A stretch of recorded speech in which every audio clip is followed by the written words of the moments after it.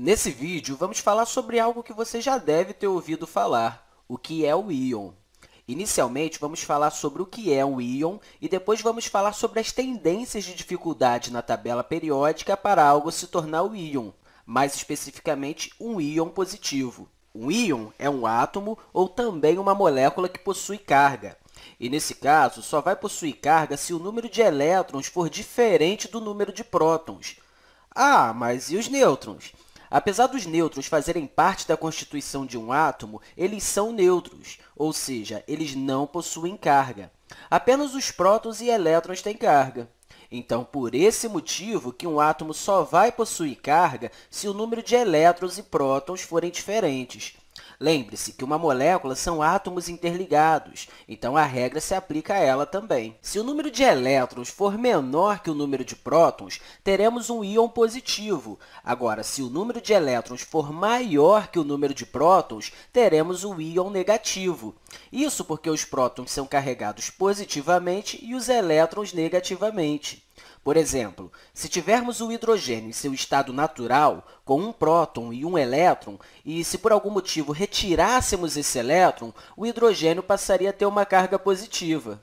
Tecnicamente, seria um dos isótopos mais comuns, seria apenas um próton por si só. Quando falamos sobre um íon positivo como esse, em que tem menos elétrons que prótons, damos o nome de cátions. Cátion é uma outra palavra para íon positivo. No entanto, também podemos ter os íons negativos. Por exemplo, o flúor, que ao ganhar um elétron passa a ter uma carga negativa.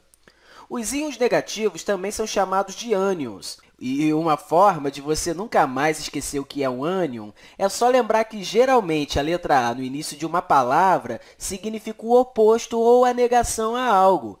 Então, se estamos pensando dessa forma, é só lembrar que estamos negando o íon, ou seja, temos um íon negativo.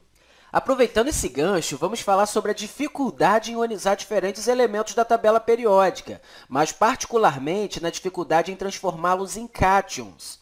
Para a gente pensar nessas ideias, vamos ver algo chamado de energia de ionização. A energia de ionização é a energia necessária para remover um elétron de um átomo. Por esse motivo, seria até melhor chamar de energia de cationização, já que é a energia necessária para arrancar um elétron de um átomo e torná-lo positivo. Então, já sabendo sobre isso, vamos olhar as tendências da tabela periódica. Como já conhecemos os diferentes grupos da tabela periódica, vamos nos focar aqui no primeiro grupo. Ah, eu já falei que o hidrogênio é um caso especial do grupo 1, não foi? Então, vamos olhar abaixo do hidrogênio, ou seja, vamos nos focar aqui nos metais alcalinos. Já falei com você em um vídeo anterior que os metais alcalinos tendem a perder um elétron, já que se eles perderem um elétron, eles vão ficar com a configuração eletrônica de um gás nobre. Se o lítio perder um elétron, ele terá a configuração de um hélio em sua última camada, que possui dois elétrons de valência.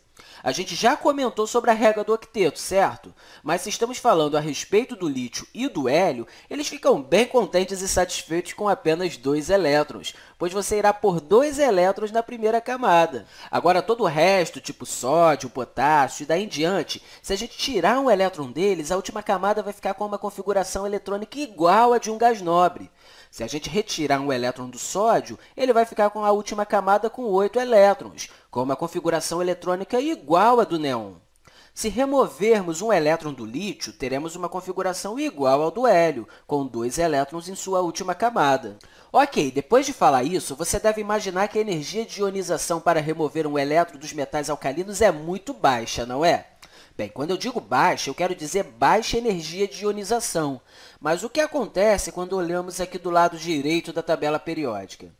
Então, vamos olhar aqui do lado direito, mais especificamente para os gases nobres. Já falamos aqui que os gases nobres são bem estáveis, certo? Eles não querem que sua configuração eletrônica mude. Então, por isso, seria muito difícil fazer com que o neon perdesse um dos seus elétrons, já que ele já segue a regra do octeto. Assim como também seria muito difícil o hélio perder um dos seus elétrons, já que ele já possui a primeira camada completa. Por esse motivo, eles possuem alta energia de ionização. Lembre-se, baixa energia significa que é fácil remover os elétrons ou um dos elétrons. E aqui nós temos justamente o contrário, nós temos uma alta energia de ionização. Então, a gente pode criar uma generalização aqui. Com exceção desse hidrogênio, a tendência geral na tabela periódica é que a energia de ionização aumente quando você vai da esquerda para a direita, ok? Mas e a tendência vertical? O que acontece quando a gente vai para baixo em um grupo na tabela periódica? Vamos olhar os metais alcalinos aqui novamente. Se a gente olhar aqui na base, o césio, por exemplo, o elétron está na sexta camada, mais distante do núcleo do que o elétron do lítio, que está na segunda camada. Como o elétron do césio está mais distante do núcleo, não vai estar tão fortemente ligado ao núcleo quanto o elétron do lítio. Logo, vai ser mais fácil removê-lo. Então, o césio possui uma energia de ionização mais baixa que o lítio.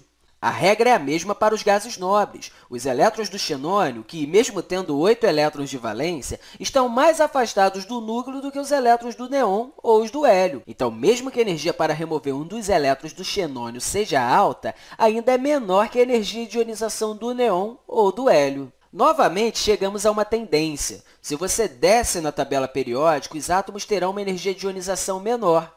Então, podemos dizer que a tendência geral é essa aqui. Se você sair da esquerda inferior e for para a direita superior, a energia de ionização vai aumentando.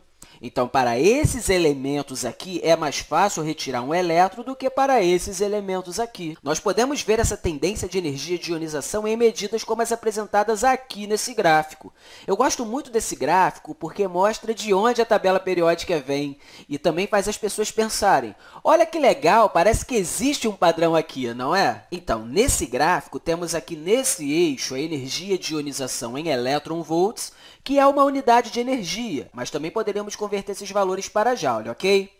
Aqui no outro eixo, nós temos o número atômico e ele vai crescendo, começando com o hidrogênio e depois indo para o hélio e assim sucessivamente. Vamos ver o que está acontecendo aqui. Quando a gente observa o hidrogênio, que é bem estável, vai ser difícil remover um elétron.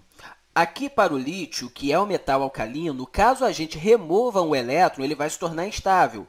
No entanto, vai ser mais fácil remover esse elétron, então é preciso pouca energia para fazer isso. Indo para a direita na tabela periódica, dos metais alcalinos para os gases nobres, podemos observar que a energia de ionização aumenta. No entanto, podemos observar que existe algo aqui fora do padrão, não é? Mas por que isso ocorre? A gente viu uma tendência geral, que vai dos metais alcalinos para os gases nobres, certo? Então, você vai me falar, olha, você tinha vindo daqui para cá, que é a mesma distância daqui até aqui, certo?